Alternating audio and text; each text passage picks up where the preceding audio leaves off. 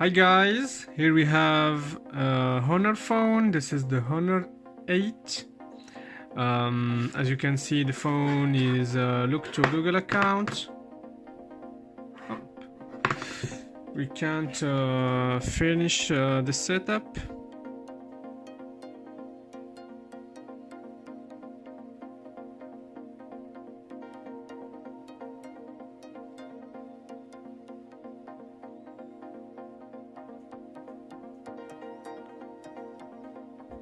So